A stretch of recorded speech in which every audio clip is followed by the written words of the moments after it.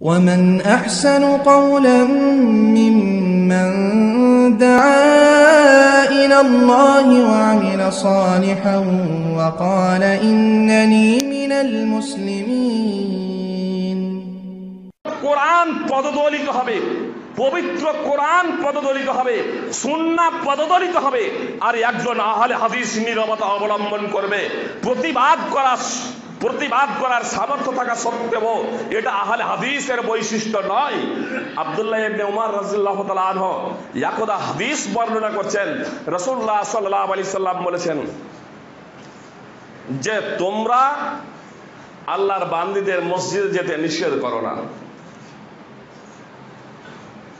আল্লাহর বান্দিদের মসজিদে যেতে নিষেধ করো না। মেয়েদের মসজিদে যেতে বাধা প্রদান করো না যদি মেয়েরা তোমাদের কাছে মসজিদে যাওয়ার অনুমতি চায়।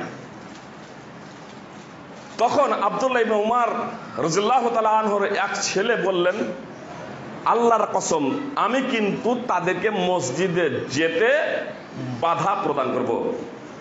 ওয়াল্লাহি লানামনাহুন্না আল্লাহর কসম, আমি কিন্তু তাদেরকে মসজিদে যেতে বাধা প্রদান করব। এ কথা শোনার পরে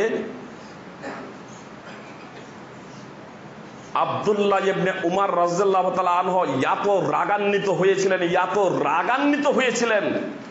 আবদুল্লাহ বিন উমারের পুত্র সালেম বলছেন যে এত ভাষা তার জন্য খারাপ করেছিলেন, যা কোনো দিনই করেনি আবদুল্লাহ ইবনে উমার। মুজাহিদের বর্ণনায় রয়েছে যারা বাব সাদ্রিহি আবদুল্লাহ ইবনে উমার শুধু তাকে গালি দিয়েছিলেন, তাই নয়। বরং মুজাহিদের বর্ণনায় আব্দুল্লাহ ইবনে উমার থেকে মুজাহিদ রাদিয়াল্লাহু তাআলা আনহু বর্ণনা করছেন যে আব্দুল্লাহ ইবনে উমার তার সেই পুত্রের বুকে মেরেছিলেন, সজরে আঘাত করেছিলেন। আমি বলছি, আল্লাহ রসুল সাল্লাহ আলি সাল্লাম বলেছেন, তোমাদের কারও কাছে যদি তোমাদের মেয়েরা মসজিদে যাবার অনুমতি চাই তাহলে বাধা প্রদান করবে না, অনুমতি দেবে। আর তুমি বলছো, আমি বাধা প্রদান করব। আব্দুল্লাহ ইবনে উমার রাদিয়াল্লাহু তাআলা আনহু মেরেছিলেন সহি মুসলিম, হাদিস নম্বর 442 মুজাহিদ ইবনে সূত্রে বর্ণনা করেছেন সহি এই হাদিস আছে, হাদিসটি সহি মুজাহিদ বলছেন মুজাহিদ বলছেন, মা কাল্লামাহু হাত্তা মা ইবনে উমার আনহু তার সেই পুত্রের সাথে আবিরুদ্ধ কথা বলেননি। কিসের জন্য? সুন্না, সুন্নার বৃদ্ধাচরণ হবে। এটা একজন আহার হাদিস মেনে নিতে পারে না। নিজের শরীরের ক্ষতি হতে পারে, নিজের জীবনের হানি হতে পারে।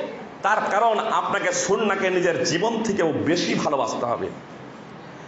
আল্লাহ তালা পবিত্র কোরআন, সুরা তৌবা নয় নম্বর সুরার চব্বিশ নম্বর আয়াতে বলেছেন قل إن كان آباؤكم وأبناؤكم وإخوانكم وأزواجكم وعشيرتكم وأموال اقترفتموها وتجارة تخشون كسادها ومساكن ترضونها أحب إليكم من الله ورسوله وجهاد في سبيله فتربصوا حتى يأتي الله بأمره والله لا يهدي القوم الفاسقين সূরা তওবা 24 নম্বর আয়াত অত্র আয়াতে আল্লাহ তাআলা বলেন মুহাম্মদ সাল্লাল্লাহু আলাইহি সাল্লাম আপনি ঘোষণা দিয়ে দিন আপনি ঘোষণা দিয়ে দিন। যদি তোমাদের পিতা, তোমাদের সন্তান, তোমাদের ভাই,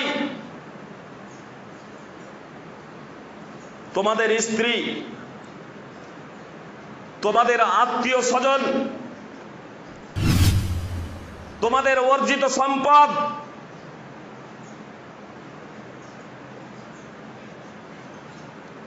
তোমাদের অর্জিত সম্পদ, তোমাদের ব্যবসা বাণিজ্য যার মন্দা হয়ে যাওয়ার আশঙ্কা করো।